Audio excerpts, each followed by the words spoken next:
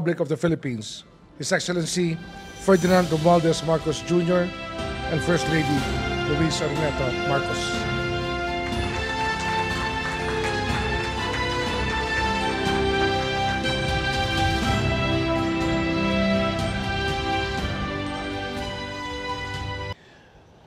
I am pleased to report to you and to the Filipino people the key outcomes of the state visit to the People's Republic of China from the 3rd to the 5th of January of this new year, 2023.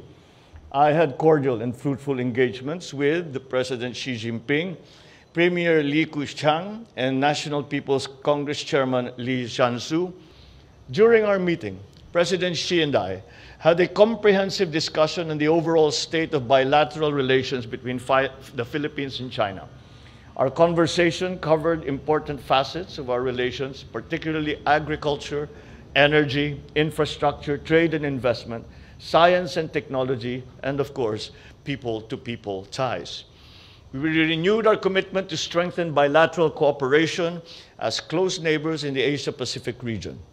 The visit offered us an opportunity to exchange views on important issues that affect regional and global peace, stability, and development.